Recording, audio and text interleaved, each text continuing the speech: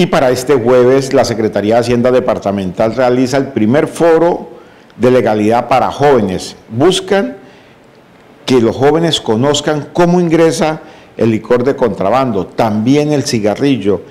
El sitio está forado para 150 personas. Allí encontrarán panelistas del orden nacional.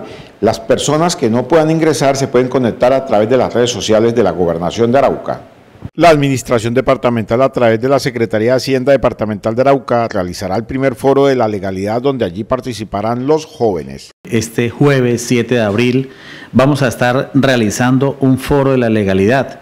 Esto es con alianza con la Federación Nacional de Departamentos y pudimos hacer una alianza con la Universidad Cooperativa de Colombia para poder llevar este foro especialmente a los jóvenes, a los estudiantes, para involucrarlos en el proceso y qué es lo que hace el departamento con relación al tema de los tributos departamentales. Está dividido en tres paneles efectivos. El primer panel precisamente es donde se involucra a los estudiantes, donde los principales panelistas son la Universidad Cooperativa de Colombia, la ESAP, y la Universidad Remington van a hablar sobre el tema de la tributación departamental e involucrar a los estudiantes y desde qué punto de vista ellos pueden fortalecer este tema de la ilegalidad, evitar la ilegalidad en el departamento.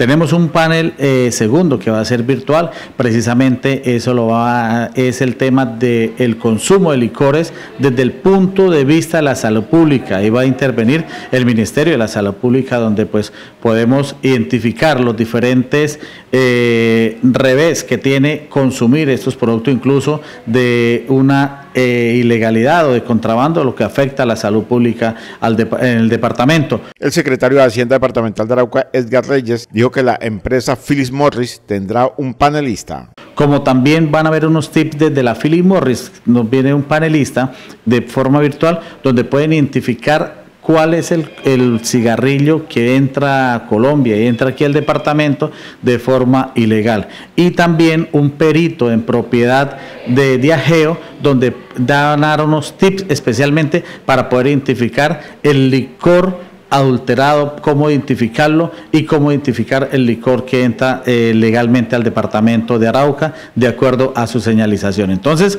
ese es un segundo panel muy importante también que va a ayudar a los jóvenes a identificar qué es lo que realmente pueden estar consumiendo el departamento de Arauca con la forma de querer ayudar la salud también de los araucanos. El funcionario agregó que también habrá un panel para las estrategias cómo se ha reducido la ilegalidad en el departamento de Arauca por parte de la Polfa. Y por último, vamos a tener un tercer panel, eh, Carlos, donde precisamente vamos a ver las estrategias. Estos son los aliados estratégicos que tenemos, las estrategias que se han eh, realizado para reducir este flagelo. Eso es a cargo del mayor Leighton de la Polfa, donde va a identificar cuáles han sido las estrategias que se han realizado desde el 2021 y este año.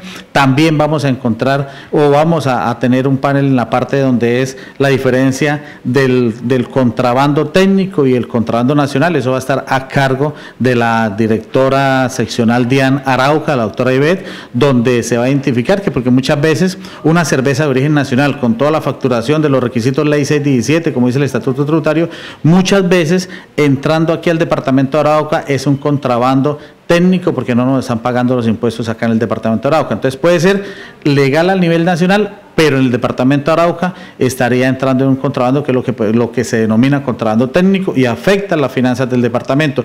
Y por último, que nos estaría a cargo de nosotros desde la Secretaría de Hacienda, pues personalmente voy a dar ese espacio donde vamos a, a mostrar las acciones, el plan de acción que hemos llevado durante los últimos dos años para, para poder identificar y decirle a la gente cómo está el proceso del contrabando en el departamento. Y así un adelanto, prácticamente por cada 10 cervezas que se consumen en el departamento, 6 están entrando de forma legal al departamento. Quiere decir que esos, ese 40% se está entrando de forma ilegal y está afectando la salud financiera del departamento, que sabemos de que estos recursos en su gran parte va para salud, deporte y recreación. El primer foro de legalidad para jóvenes se hará en el auditorio del Hotel Capital en el municipio de Arauca. Nos vamos a ubicar En el salón de Arauca Capital, el salón de eventos de Arauca Capital, eso tiene eh, un aproximadamente de 150 eh, personas. Consideramos de que con los estudiantes de la Universidad Cooperativa, los estudiantes de la universidad,